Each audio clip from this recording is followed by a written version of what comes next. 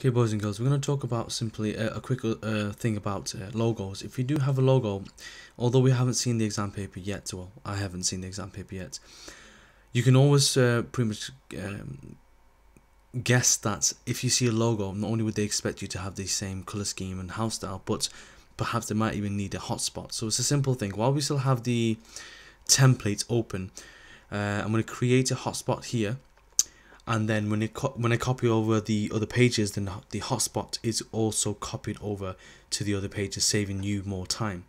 So how do you create a hotspot? You click on the picture first the banner you can see. And you simply go onto this button here the polygon hotspot tool and you go around it. Now there is an extra mark to do that. If you do this and I've seen some of you do this in the past you don't get any marks for it. You may as well just missed it out. So I'm going to do that, Control Alt uh, Z, undo it, go back, there we go, and I'm going to use this one here. And the reason why this is so important is because you can be more precise. Ooh. Go all the way around. So if it's a funny shaped logo, as this one is, you can be precise.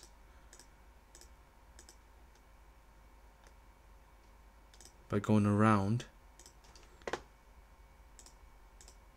the characters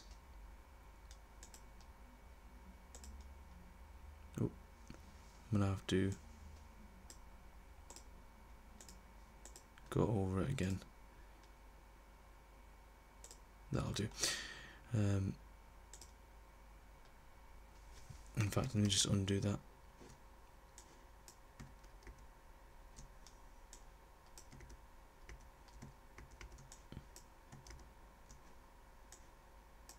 Go back one step, there we go. No, I'm going to have to do that again.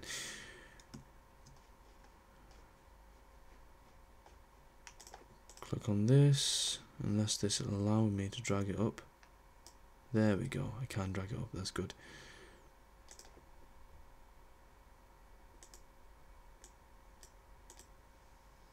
I'm just going to go back over here and just finish off here and I'm going to no, undo that.